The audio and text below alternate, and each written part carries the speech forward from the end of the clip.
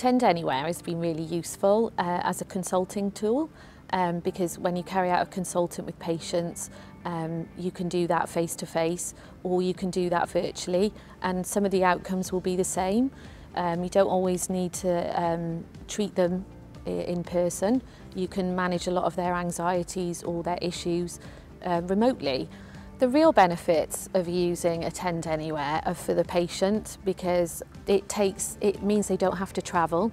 Um, it means they can bring in family members and particularly when we're in this situation where people haven't been able to visit relatives in hospital, you can involve them in that decision making, especially if they have any dementia or anything. So it really involves them in their care. I think not having to bring patients into the hospital, especially during COVID times, is very important. In vascular surgery, we deal with a lot of patients who are old and suffer with comorbidities and therefore at high risk if they were to capture COVID. So by giving them the uh, attend anywhere, it's one less thing to worry about. It takes a lot less time, less time for the staff, so we can have a lot of multiple contacts with patients without taking lots of time. One aspect of uh, Attend Anywhere for me, which I found really beneficial, as well as contact directly with the patients, but contact as an MDT, which is the, the other network of health professionals, particularly as I'm, I work closely with vascular, we've, we've done a lot of um, attending anywhere as professionals around a case with the patient. And I really see that as a really area of development going forward because you can have multiple uh, disciplines working on one problem and one patient together and getting a final decision in one episode rather than lots and lots of appointments.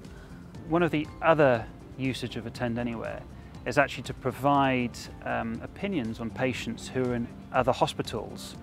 Uh, we have a very small number of consultants and specialist vascular nurses who deliver vascular surgical care for the entire health board. So using Attend Anywhere, we're actually able to uh, look and see and give opinions on patients in peripheral hospitals without the need for either them coming to us or for us going to them.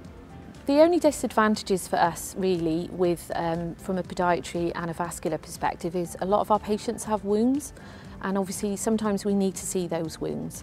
But for the patients that we can manage jointly sometimes with other district nurses or practice nurses and we can have some decisions around their ongoing care without actually seeing them.